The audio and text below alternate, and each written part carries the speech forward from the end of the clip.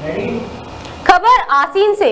आसीन से परमवीर सिंह कटार की रिपोर्ट के अनुसार युवा कार्यक्रम खेल मंत्रालय के तत्वाधान में बरसनी नेहरू युवा संस्थान द्वारा आयोजित ब्लॉक स्तरीय खेलकूद प्रतियोगिता का समापन रविवार को हुआ। समापन समारोह के मुख्य अतिथि के रूप में स्थानीय सरपंच दिनेश तोसनीवाल मालासेरी पुजारी हेमराज पोषवाल रहे। वहीं विशिष्ट अतिथि शहीद मोहम्मद, ग्राम पंचायत विकास अधिकारी देवकरण गुजर महादेव गुजर महावीर कानावत।